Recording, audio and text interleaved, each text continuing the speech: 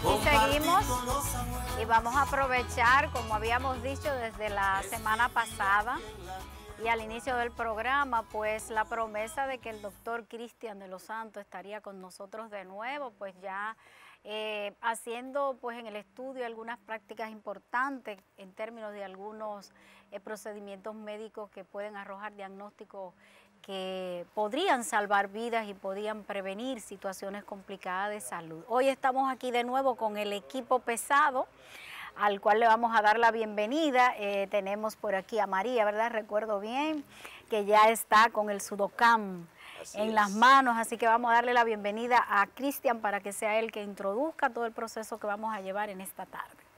Muy bien, dar las gracias a todo el equipo de este programa, realmente. Este es un domingo familiar que marca cada, semana un, hito en la televisión y en lo que es la sociedad dominicana. Estamos agradecidos nosotros como Fundación Club de Diabetes e Hipertensión Arterial este de nuestro equipo, parte del equipo. Tenemos unos 42 educadores eh, que están dispersos en la comunidad de los Alcarrizos y que están identificando personas con diabetes muchas, muchos de ellos sin saberlo incluso. Los, educadores eh, pueden monitorear o chequear la presión, el azúcar, y son pacientes que se han empoderado, pacientes empoderados de su condición, que se cuidan a sí mismos y que ayudan a cuidar a otros. Aquí tenemos a, Concepción Minier, que además de también de ser parte del club es educadora, licenciada en educación, una de nuestras profesoras también, igualmente la psicóloga Fermina Abreu, y también tenemos más personas como Deyanira, Onassis, Argentina, doña Mariana, que la vamos a felicitar, que, ella está de cumpleaños hoy, doña Mariana. Vino a celebrarlo aquí, trayendo informaciones, ¿verdad? Y ella es una líder en la Iglesia Católica en su comunidad. También la doctora eh, Gertrudis Cuello, y Gertrudis es un médico especialista, un médico familiar que se ha integrado al equipo, nos ayuda en lo que es la atención primaria sobre todo, y nos ayuda a organizar esta jornada de atención primaria, porque la medicina de hoy está sobre todo en el, en el pilar de la educación. La educación es lo más importante, la enseñanza, la prevención de las enfermedades. Si nosotros logramos que mil personas de nuestra comunidad no se vuelvan diabéticos en los próximos 10 años, estaremos haciendo algo muy importante. Estamos haciendo detección temprana de pacientes que son candidatos, que tienen factores de riesgo para ser diabéticos, como mencionamos en el programa pasado, que son aquellos que tienen historia de hipertensión arterial, de obesidad o sobrepeso, esa barriguita rosera, que la gente no le pone mucho asunto. Esa barriguita rosera indica que usted tiene riesgo de ser diabético y debe ponerse atención. Igualmente las mujeres que han tenido un hijo mayor de 9 libras, no importa que haya pasado 5 años, 10 años, que ese hijo nació con 9 libras o más, debe ir al médico para chequear su azúcar. También las personas que tienen mujeres con síndrome de ovarios poliquísticos o que tienen otros trastornos hormonales, problemas de la tiroides, deben pasar por el chequeo del médico familiar, el médico endocrinólogo, para nosotros descartar que pueda tener qué tanto riesgo. Hay personas que no le toman asunto a veces a las recomendaciones, pero es importante que si usted ha tenido hasta cálculo en la vesícula, hígado graso, que le dicen tiene grasa en el hígado, esos son marcadores de que a futuro, no muy lejano, usted puede ser diabético. Bueno, son muchas los, las voces de alerta que el cuerpo puede dar en términos de todo lo que es la historia clínica de cada persona. Yo creo que ese es un elemento muy importante y básicamente pues el objetivo de poder preparar programas como estos para que la gente pueda tener toda la orientación y pueda a tiempo poder prevenir cualquier complicación que se, que se pueda presentar. Eh, estos programas de educación son, son realmente impactantes en las comunidades porque son de bajo costo y son de alta efectividad. También existen metodologías como la que vamos a presentar eh, en breve del Sudoscan o Scan del Sudor, que es un, equipo que fue creado en Francia y ya está aprobado en los Estados Unidos. De hecho, en los seguros, los Estados Unidos lo, autorizan. En nuestro país está el Sudoxcan de reciente eh, internación, o sea que hace poco se introdujo y ya nuestro hospital, que es el Hospital Vinicio Calventi en los Alcarrizos, tiene ese equipo que es el que vamos a mostrar ahora. Y con ese equipo nosotros podemos detectar personas con alto riesgo. Cuando una gente le dice, usted tiene tanto por ciento de ser diabético, la gente se cuida más. No, y también, doctor, es bueno decir a toda la población que a través del Sudoscan también hay otras enfermedades que se pueden identificar. Así es. Y eso puede ayudar muchísimo a lo que es toda, pues el cuidado que, que deben tener cada una de las personas que inclusive dentro de su, de su cuadro genético familiar, pues comience a dar señales de que un abuelo, un tío padecía de azúcar o que tenía hipertensión. O sea, toda esa historia clínica puede ayudar muchísimo para que podamos tener mayor prevención eh, para eh, preservar nuestra salud, que es lo más importante. Aunque la herencia es el factor quizá más importante, no es el único. Hay gente que dice, en mi familia no hay diabéticos, pero estoy gordito, está sobrepeso. Es ese solo factor combinado, que la herencia necesita un, entorno, un ambiente donde manifestarse. Pero si usted está gordito, si usted está sobrepeso, si ha aumentado muchas libras en los últimos meses, debe ponerse a la vista de un médico para que haga prevención de la diabetes. La diabetes cada día aparece, las estadísticas mundiales y las proyecciones de la Organización Mundial de la Salud dicen que cada dos segundos aparecen dos diabéticos y uno de ellos todavía no lo sabe. O sea que hay muchos diabéticos en el mundo entero. Eso, eso es lo malo, ¿verdad?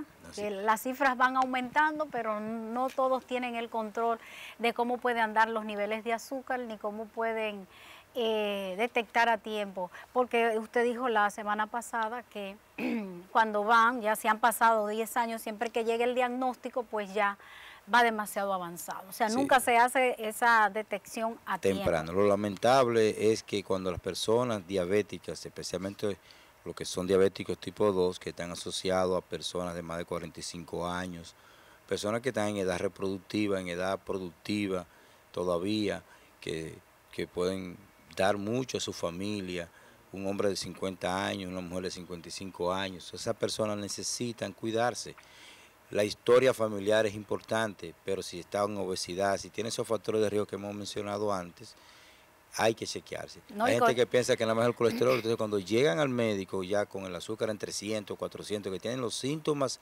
típicos de diabetes, que dijimos que era orinar mucho, beber mucha agua, está perdiendo peso, se siente con debilidad, los hombres tienen preocupaciones, quizá no están funcionando adecuadamente, en su, su organismo no está respondiendo bien eso indica que usted puede estar diabético. Pero cuando esos síntomas aparecen, ya... Ha caminado, ¿verdad? Silentemente. Ya la enfermedad le ha cogido gavera, como dicen en el campo, más de 10 años. Yo creo que es muy importante pues darle el carácter que lleva, no solo por, por estos programas que hemos hecho y porque este sea el mes de la diabetes, sino porque sabemos que la diabetes es una enfermedad que compromete mucho, que tiene muchas implicaciones a veces un poco negativas cuando uno no tiene la prevención y puede poner en control esos niveles de azúcar. O sea, son muchos los órganos que se pueden afectar y, y muchas las patologías que pueden surgir de una diabetes no bien manejada. Pero yo creo, doctor, que dentro de lo que tenemos hoy aquí,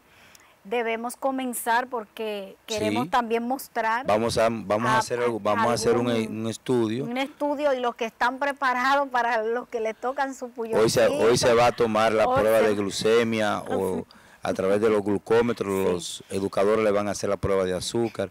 Este es un trabajo importante desde el que comenzamos en el año 2014, ya para el 24 de junio inauguramos el club y en ese primer año nosotros tomamos un un parámetro de comparación y es que de enero a junio del 2014 en el hospital Vinicio Calventi llegaron consultas de primera vez al área de diabetes 192 personas. Y luego que el club comenzó a trabajar y que los educadores se fueron preparando y que ya cada uno tiene su, su aparatito, como dice la gente, su glucómetro, que empezaron a hacer pruebas en las comunidades, los siguientes seis meses el año 2015 llegaron 512 personas nuevas, ah. lo que significa que llegaron casi cuatro veces más y no fueron los médicos que lo fueron a buscar, fueron los educadores que Así fueron a buscar a esos pacientes. Y nosotros a través de estos cuatro años, en cuatro años hemos logrado disminuir en más de un 50% las visitas de pacientes diabéticos por la, emer- en la emergencia del Hospital Calventi. Qué o sea bueno. que el Eso- impacto es importante porque eso no solamente en, costo, en salud, sino también en costos. Ayuda mucho al sistema de salud. Y es, y la gente crea y conciencia, la ¿verdad? gente crea conciencia.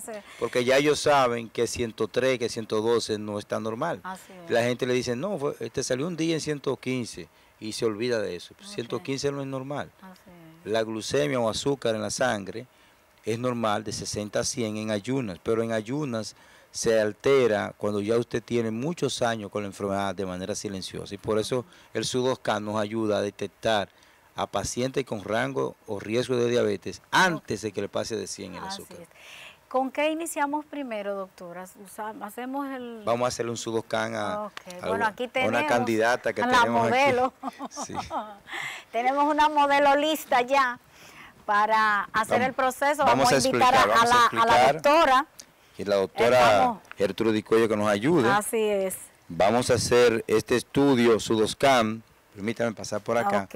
La licenciada María Morel, El que es paso. técnica de, de imágenes, nos va, ya licenciada, más que técnica, licenciada en imágenes. Bueno, egresada de la Universidad Católica de Santo Domingo, entonces nosotros queremos hacer esta prueba. Lo primero que hacemos es que le explicamos al paciente qué es lo que se va a hacer. Eh, o- y usted va a ser sometido a una prueba que se llama Sudoscan, vamos a estudiar su sudor y para estudiar el sudor tenemos que estimular las glándulas sudoríparas que usted tiene en sus manos y en las plantas de su pie con una corriente de menos de 4 voltios. Y eso cuando una gente dice que le van a dar corriente, la gente se asusta. Pero esta corriente no se siente, se percibe simplemente como una cosquilla. Si siente la cosquilla está bien y si no la siente, pues no hay problema. ¿Ok? No le va, no le va a causar ningún problema. Esto, esto es un estudio que se lo pueden hacer personas que pueden tener marcapasos incluso, que no hay ningún, no hay ningún inconveniente con eso.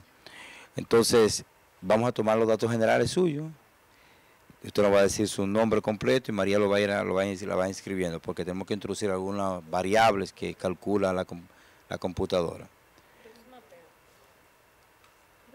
Luz. Luz Mateo. Entonces, Luz, su fecha de nacimiento, Día.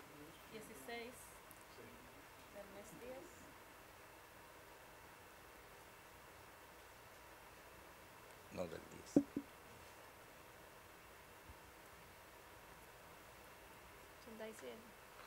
Muy bien, así es. La máquina, ¿verdad? fíjese que la máquina calcula inmediatamente la edad, ahora nos dice eh, su peso aproximado. 214 libras, Luz y dale a la dieta, ¿eh? sí. ¿Y su estatura? Póngase de pie. Pero serían como unos... Sí, ella como tiene cinco 5'9". u- 5'9". cinco, nueve más o menos. Ahí. ¿Y su cintura? ¿La conoce? ¿Su talla? El centímetro está por aquí, Sí, doctor. sí, yo Hay tengo que un tomar el centímetro. porque cuando le dijeron a Auri del centímetro se puso mala. Está ahí. Si lo vamos a buscar el centímetro, búsqueme. Señores, el centímetro están contrapirando. Digo, todas esas, todas esas Ella eh, fue previsiones Ella lo escondió para que yo para no que no le tome. Lo guardaron aquí. Póngase de pie, por favor. La cintura Déjame es importante. moverme para ayudarle con el micrófono, doctor. Aquí, allá. La cintura es importante porque existe lo que se llama la cintura hipertrigliceridémica, o sea, con lo que habla de triglicéridos altos y de una, una, con- una constelación de problemas que se llama síndrome metabólico. Cuando una mujer tiene más de 88 centímetros, tiene alto riesgo para desarrollar diabetes, hipertensión y otras más. Y los hombres hasta 102. Pero lo ideal a los hombres es que no tenga más de 90, 92 y en una mujer 80. Entonces, ella tiene 106 centímetros, que son 42 pulgadas. María. Tome el micrófono, doctor. Sí.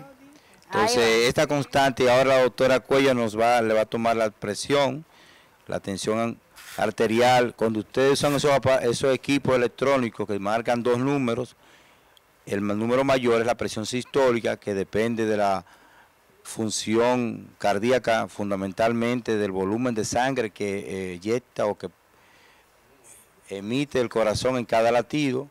Y también está la presión diastólica, que mucha gente dice, no, la presión más importante es la distólica, la sistólica, las dos son importantes. La diastólica depende de la resistencia vascular periférica, que es la resistencia que las arterias oponen a que el corazón logre pasar la sangre. Entonces, ambas son importantes. Y también los equipos le mandan otro numerito que es la frecuencia del corazón, los latidos por minuto. Entonces, tomamos en cuenta la edad, la cintura, el peso, la talla, también tomamos en cuenta la presión arterial. ¿Cuánto tiene, doctora? 140, 100. 140, 100. O sea que ella está en un nivel de hipertensión arterial. Y, también tomamos en cuenta la hemoglobina glucosilada, que es el promedio de la glicemia en los últimos meses. ¿Usted se ha chequeado la glicemia últimamente? ¿Tiene mucho no será chequea? ¿Tiene familiares diabéticos? ¿Hijos de más de 9 libras? No, no tengo. muy bien. Entonces, ponle 6 ponemos un promedio de 6. Y eso ya es lo único. Ahora vamos a hacer un escaneo. El escáner del sol, por favor, pósese aquí en, el pie. Que le quepa todo el pie en la placa. Puede salir un poco los dedos, pero que el talón esté dentro. Eso es. Ese otro, muy bien. Excelente. Ahora ponga sus manos acá en la misma forma de las placas. Muy bien. Ahí está. Un poquito más adelante, el derecho. Eso es, eso es. Muy bien. Déjenme ayudarlo con el pie. Así. Excelente. Entonces, ahora usted se va a inclinar así para que le haga presión a las manos para que no se le muevan. No va a sentir nada. Escuche lo que María le va a decir. Bien, Luz, vamos a iniciar. El estudio dura tres minutos. Vas a sentir una pequeña coquilla en la mano, pero eso es normal. Si la siente, normal, y si no, también. Y no se puede mover porque el estudio se daña. Ahora el equipo hace el escaneo. Ella va a, sentir un poco de electricidad, pero mínimo. Esta es una animación. Fíjese, licenciada, como las glándulas sudoríparas se van estimulando y va liberando sudor, tanto de las manos como de los pies. El sudor tiene cloruro de sodio, por eso el sudor es salado. Y de ese cloro que tiene ese sudor, nosotros medimos la concentración, la máquina lo expresa en microsiemens y en base a esa cantidad de cloro eh, nosotros inferimos cómo está la integridad del sistema nervioso, puesto que las glándulas sudoríparas tienen fibras nerviosas simpáticas y eso nos dice si el sistema nervioso está bien o está mal. Es por eso que hay que buscar la forma de evaluar los pacientes diabéticos, antes de que el azúcar le suba, los pacientes diabéticos tienen daño en el sistema nervioso. El sistema nervioso, cuando se daña, lo llamamos neuropatía. Y la neuropatía es lo que nos anuncia la diabetes. Entonces ya estamos terminando a, a, luz. En breve vamos a ver cómo te dio el estudio del Sudoscan. El Sudoscan está dispuesto en, disponible en el Hospital Vinicio Calventi los miércoles. Llaman al número de la licenciada María Morel, que es 809-882-3917 y ahí hacen la cita con ella. 809-882-3917. Llaman a la licenciada María Morel. Ya estamos terminando. Todas las personas, doctor, son candidatas a Si cualquier persona se lo puede hacer, pero este estudio es importante en las personas que tienen historial de diabetes, familiares de primer grado, personas a riesgo, pero cualquier persona se puede hacer un sudoscan porque cualquier persona puede estar a riesgo de diabetes. Entonces, esto es como un semáforo que expresa una luz verde, amarilla y roja. Cuando estamos en verde en el semáforo podemos transitar bien, sin problemas. Si estamos en amarillo estamos en alerta y si está en roja tenemos, estamos en problemas. Entonces vamos a ver cómo en breve le salió este estudio a luz. También le damos una impresión al paciente que dice eh, lo- la referencia, incluso la patente que registra este equipo en los Estados Unidos. O sea, es un- equipo que está aprobado y autorizado por la FDA, no tiene ningún, no tiene ningún inconveniente. Pues, Luz, póngase- puede respirar. Puede respirar, mire Luz, venga a ver cómo están sus, póngase aquí para que usted vea cómo están sus, Sus órganos sus órganos, internos. mire. Los pies, en los nervios de sus pies están en verde, y aquí mar- marca el diagrama, que está muy bien, y en las manos están en verde, pero están más bajitos, ¿lo ves? O sea, están caminando hacia el amarillo. De manera que a veces en tus manos tú puedes sentir calambres y adormecimiento. ¿Te lo has sentido, verdad que sí? Es un día que, que ya tus nervios eh, en la mano te están anunciando, como decía la licenciada, hay una señal que está diciendo tu cuerpo que no anda la cosa bien. También esto se, esta información la, la computadora la extrapola en un software y lo, nos vemos el score renal de cómo puede estar tu riñón. Está en verde, tu riñón está muy bien, 96% de, de buena función. Y en el corazón está bien, también en verde, solamente tiene 14% menos.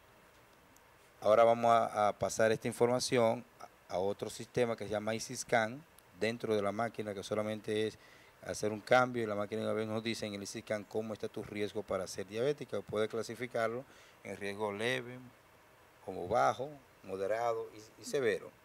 Entonces tú estás en un 21%, que es un riesgo bajo. Así que felicidades. Solamente tienes que ahorita ayudarnos con la campaña que dice, no, dice que te muevas. Y dice el azúcar Muévete, no te endulza, te daña. El azúcar, el azúcar no endulza. A los diabéticos los daña. Los daña. Bueno, yo creo que Lucy respira profundo, ¿verdad? Los sudores todavía están como al. Auri, sí. Como Auri, aquí está el de Auri que podemos presentarlo. Auri, no tema que no se va a ver. Hay que hacerle una, la, la, La prueba. del azúcar. Venga, venga, doña María, venga, venga por aquí.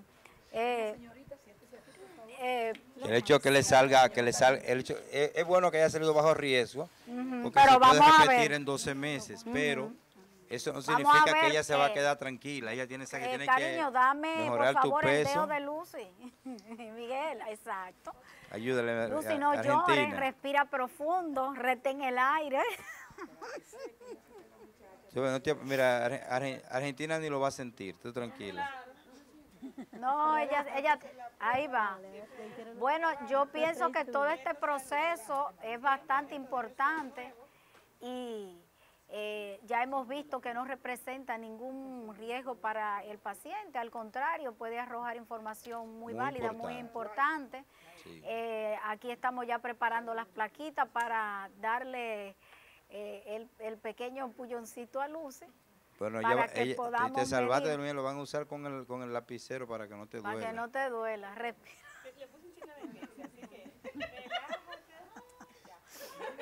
Ay, eso era todo, Lucy. y, yo ya. ni lo, y yo ni lo sentí. Yo ya ni cuenta me di realmente. Ella está muy bien, pero tiene hambre. Ah, tú ves, hasta el hambre salió. Tienen 85. 85 tiene. Bueno, vamos a felicitar a Luz. que Bueno, qué bien. bien, señores. Pues La un juventud le ayuda para mucho, un Luz. aplauso para Luz. Lucy, estás joven y preparada para hacer los preparativos para la boda y luego de los trillizos. Sí, sí, sí. Eh, tenemos otro candidato por aquí. Sí. Venga, saco de sal. Venga. Sí, ven. sí, ven. Ven para, para hacerte la evaluación. Sí, vamos a hacer. Ven, ade- ven, pasa. Porque hoy estamos aquí para eso, para poder Venga, evaluar venga, la venga. salud. Hay gente que tiene fobia al pulloncito, pero, pero, ven acá. Ese es un- gancho de José Cáceres para que a mí no, para que a mí no me firmen. Párate aquí Yo al estoy a punto de una firma. ¿Qué tiene que ver eso? Que yo estoy a punto de una firma, mire, doctor. Por mi madre. Por mi madre. Yo nunca he consumido nada. Mire, yo prefiero morir. Yo nunca he consumido nada. Pero que eso no a lo más que yo he llegado a Marta Alemana. Eso no es un gancho que pa- Como ellos saben no que a mí me van a firmar. No es antidoping, Que no señor. es doping, no es doping, no siéntese, Es la azúcar, azúcar y otra cosa. siéntate, siéntate. Ah, Pero por Dios, y ese escándalo. Respira profundo, respira profundo. Porque eso no es para No, nada pues yo, de... hombre, que yo estoy limpio, yo, por mi madre, yo lo juro. No, pero... que- Eh. Ay, ay, merece. Respire profundo y preguntarle, tranquilo. ¿Ustedes tienen familiares diabéticos? Yo tengo un, un hermano Un hermano diabético. que gotea, cada rato gotea. Pero yo no, mire. Pero por- la gota es otra cosa, la gota es lo que le dicen epile- es epilepsia. No, no, él gotea porque no, no se desayuna. Ah, Eh, y se pone insulina. Sí. El diabético que se pone insulina tiene que comer, porque al diabético le hace más daño dejar de comer que comer. Es mejor que coma y no que Ah, pase ¿tú hambre. ves? Le hace daño al diabético pasar hambre. El diabético debe comer seis veces al día. ajá, ¿Cuántas veces usted come esa cosa? desde que encuentro. Yo, yo tengo a veces, a veces, a veces, cuando estamos en torneo y eso, llevan pizza y malta y yo Ah, Le va- usted Me la abarre, mato. ahí es que usted me la barre. Pero tengo días. Concéntrese que mire, Le van a dar un vamos, le vamos a un puñoncito tranquilo, re- relajadito, relajadito. Respire, respire. Ya, mire, Ay, Dios mío. Mire ahí, ahí. Mire, ¡Ay, mi madre! Ay, lo matamos, lo matamos. ¡Ay, mi sangre! Ay, esa es mi sangre, Mire, ya, mire, ya, ya. Eso era todo. Usted no ve y está vivo. Usted no quiere imposto. Mire, tiene 168, estaba bastante bien porque usted ya comió. Sí. Cuando una persona ha comido, No he comido. para poder... Yo Desayuné, no he comido. pa- Que después no me dan maná, no. Después no te dan nada. Desayuné, no he comido. cuando la gente ha comido, de- debe esperar por lo menos dos horas para hacerse una prueba de azúcar. Porque en las primeras dos horas el paciente, sea diabético o no sea diabético, va a tener el azúcar alta. Y te decir, es apropiado que se la chequee dos horas después de haber comido. Y tiene un mejor rango de interpretación. O sea, es más, más correcto. sea, Porque la- si una gente se hace la prueba acabando de comer, a todo el mundo le va a salir alto. O sea que la mía está bien. Sí, está. ¿Viste, José Cáceres? ¿Viste? Mire, ¡Vio, Danilo Díaz! usted, usted es muy ¡Vio, mal Danilo. Díaz! Gracias. Excelente. creo- Vamos a darle un aplauso a él porque realmente él lo, lo- lo hizo Es lo bien. único que es muy cobarde. Usted debería ser más, más fuerte. Sí, una de las cosas que a la gente le tiene miedo es a usar insulina. Sí. Y para eso nosotros tenemos a Argentina que les avisa a los pacientes, les ayuda, les, les enseña cómo poner la insulina. Eh, alguien más, eh, Dice, no, a todos le vamos a hacer la prueba, que no, puede, no se va a salvar ninguno hoy bueno, la azúcar. Argentina, miren, Argentina es diabética, ya es jovencita y, y- y tiene muy buena salud porque ya aprendió a cuidarse. Pero ella tomó tiempo a aprender que tenía que usar insulina. Es. No es tan sencillo que la gente se puye, que la gente se administre una insulina. Para saber eso se necesita educar y eso no se logra en cinco minutos ni diez minutos. Nosotros tenemos un equipo, si usted tiene un familiar que no se quiere poner insulina, ah, llámenos y nosotros estamos dispuestos a ayudarle. Bien. Bueno, yo creo que es importante, doctor, ya y las personas que tienen el diagnóstico, este seguimiento, de poder este, pues, tomar el, el sí. control de los niveles de azúcar. Es que tan importante es en una persona que ya tiene el diagnóstico de poder tener ese seguimiento. ¿Qué Hay- parámetros que le indica y cómo ser? Hay muchos equipos de diferentes marcas y lo importante es que los pacientes aprendan a medirse el azúcar, saber que tienen que tener metas de control en ayunos, cuándo debe ser en, cuánto debe ser en ayuno. En ayuno debe ser cerca de lo que sería una persona no diabética. Si una persona no diabética normal en ayuno de 60 a 100, para un diabético asúmale 20 puntos más, que sería de 100 a 120 en ayunos. Pero como regla general, podemos decir que a cualquier hora del día, para un diabético adecuadamente controlado, está entre 100 y 140. Entre 100 y 140 son buenos niveles, buenos niveles para poder decir está controlado. También debe medírsela ocasionalmente después de las comidas, como dijimos, dos horas. Y a las dos horas después de la comida no debe tenerla en 80 ni en, no- ni en 90, porque si la tiene en 80 está muy baja y eso indica que o se puso mucha insulina o comió muy poco. Igualmente debe hacérsela también en la noche, ya bien avanzada la noche, 10 de la noche a la hora de acostarse, y debe tenerla en un rango muy parecido al de la mañana, igual, entre 100 y 140. Recordamos, buenos niveles de control son de 100 a 140 a cualquier hora del día para mayor eh, facilidad. Que ustedes sepan que entre 100 y 140 está controlado. Y, y si ha comido, que no se la tome la prueba hasta que no pasen Dos esas dos horas. Perfecto, bueno, yo creo que esto es importante y además que el que todavía no tiene el diagnóstico, en algún momento sería recomendable poder tener algún Sí. control para... Sí, correcto. Eh, recientemente vimos una señora que ella va muy preocupada al club porque ella tiene un aparatico, tiene una familiar diabética y ella quiere saber. Entonces todos los días se la hace en la mañana. Y hay días que la amanece en 80 y otro día en 90. Porque la gente piensa que hacerse la prueba de azúcar es un valor continuo. O sea, si usted se la hizo en, en 85, Puede fluctuar. en 85 fue ese día, ese minuto y ese segundo de ese momentito. O sea, eso, eso no habla del día entero. 85 es un momento. No habla ni del día entero ni del mes entero. La gente piensa eso. Dice, yo la tenía en 90 ayer, eh, la última vez, y piensa ya que ya está bien. Me imagino entonces, doctor, que el estilo de alimentarse, Varia- como, como pueda ser en el día, tendrá alguna incidencia también en Correcto. el Entonces, final. eso se llama variabilidad glucémica, que la persona cada vez que come le debe subir el azúcar y la pastilla o su páncreas normal se la va a controlar. Entonces, esta señora que fue, se la medía a veces después de comer.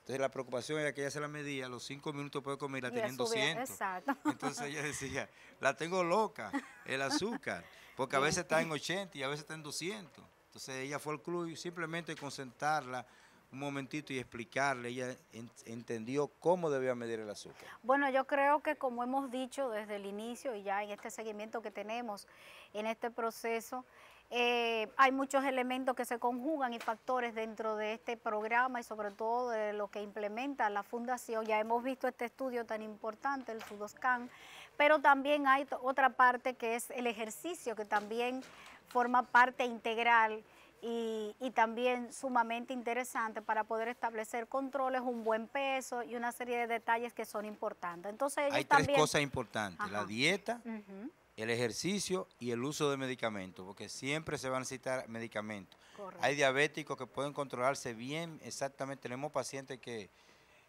yo, tenemos una paciente, por ejemplo, que es miembro de- del club, que casi 67 años, pero ella le da seis vueltas todos los días al Faro Colón. Ay, ya, pero está bien Seis entrenada, vueltas. ¿eh? Qué y bueno. ella no toma pastillas y cada vez que la chequeamos ella está bien. Bueno, Pero bien. es, ella ya su dieta y hace ejercicio. Así es. La mayoría de los pacientes necesitarán dieta, ejercicio y medicamentos.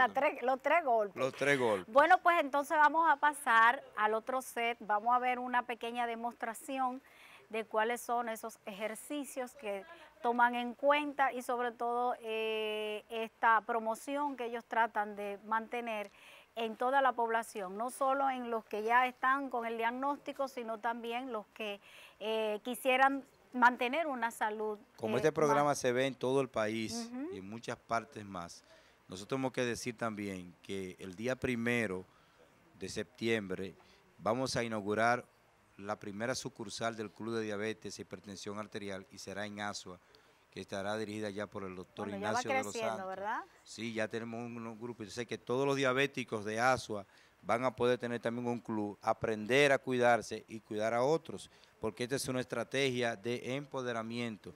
Estos pacientes ya se cuidan solos. Así Nosotros tenemos es pacientes, tenemos pacientes que tienen tres años que no van al hospital porque están Ah, controlados. Qué bueno. Controlados. Y antes iban dos veces y tres veces al mes por emergencia, gastando dinero, pagando taxi, pagando emergencia, y ya ellos no necesitan O eso. sea que lo más importante en todo esto es que el que tiene el diagnóstico pueda cuidarse, pueda hacer cada uno de los pasos correspondientes y entonces puede eh, mantenerse en unos niveles estables que no representen ningún riesgo de emergencia, ni que me, me mareé, ni que me caí y todos esos detalles que a veces pues cuando ya están en el cuadro se complican mucho. Así que vamos Por ejemplo, mire, mire ahora, a... Ajá. Ahí le vamos, usted va a ver ahora el que se encarga de la parte de los ejercicios del Club de los Diabéticos, que se llama Roberto Fama, y él era un paciente que era hipertenso y tenía complicaciones.